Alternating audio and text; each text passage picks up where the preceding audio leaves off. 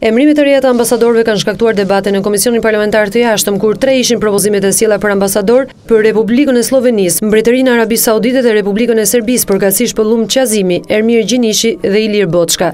Deputeti i Partisë Demokratike Kastriot Islami ka akuzuar mazhorancën se nuk po zbaton ligjin për shërbimin e jashtëm. Bile unë do gjeja mundësin edhe presidentit të Republikës t'ia jepja këtë mesaj, që ai të paktën në bashkëpunim ose në konsultim me ministrin e Jashtëm, ndoshta dhe me kryeministrin, të mos lejojë të shkelet ligji i shërbimit me jashtë dhe ai vetë të mos bëhet pjesë e shkeljes së këtij ligji të shërbimit me jashtë. Kryetarja e Komisionit Arta Dade ka vijuar duke thënë se nuk janë shkelur kuotat e emrimeve politike, por ka kërkuar gjithashtu dhe përfshirjen e sa më shumë grave si ambasadore. Por, patjetër që duhet të bëhet vëmendje që të kemi më shumë gra në përfaqësimin më të lartë si ambasadore të Republikës së Shqipërisë. Deputeti i Partisë Socialiste Ben Blushi ka kundërshtuar specifikisht kandidaturën për ambasador në Mbretërinë Arabe Ermir Gjinishin duke vënë në pikëpyetje kriteret që Ministria e Jashtme ka përdorur për përzgjedhjen e tij.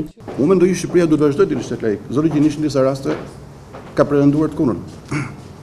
Dhe pyetja ime është që a mendon Ministria e Jashtme se Njerëz që vijnë me këtë me këto pikëpamje, në shërbimin diplomatik, si nëpunës të shtetit, e cënojnë misionin që ka marrë përsipër apo jo? Nga ana e Ministrisë së Jashtme është vlerësuar njohja e kulturës së këtyre vendeve, njohja e gjuhës, duhet thënë që në Ministrinë e Jashtme, shërbimin e jashtëm, kemi mangësi në këtë fushë.